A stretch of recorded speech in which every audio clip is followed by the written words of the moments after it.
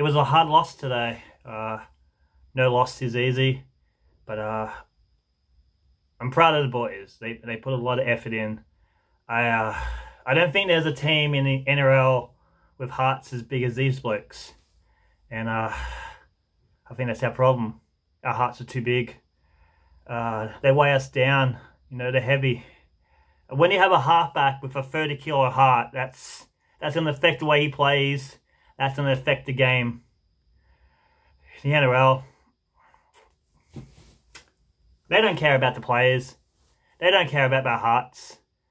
You know, when they make us play every week against teams with better players, better coaching, it's it's just not fair. You know, uh, like someone's gonna get hurt. You know, and they, they don't care. They they just don't care. They don't care if someone gets hurt physically or emotionally. Like they don't care about our, our feelings. Like they never they never sent me a, a happy birthday message. I mean, it wasn't my birthday, but it could have been. You know, they, they didn't ask. They don't they don't care.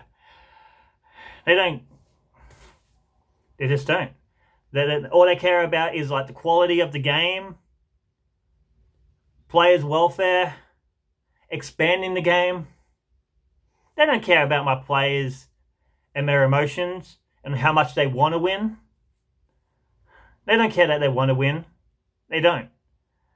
They said they have to win. If they want to win, if they want to win, they have to do it themselves. Like, but how? You know, when you're up against state origin players and coaches who have a clue what they're doing, you know, coaches who are adapted to the modern game, you know, how how are we how are we meant to compete against that? You know, it's just just ridiculous. You know, when you have teams with gutless dogs playing against us, you know, you know this player is. There's a player for Penrith. He's gutless. My players have guts. They're just heavier and weigh us down. It's probably going to get in trouble for this, but you know, I don't care. Just like the NRL don't care about me and my feelings, you know? Like, they give out suspensions, but they don't get it, give out get well soon cards, you know? Just double standards.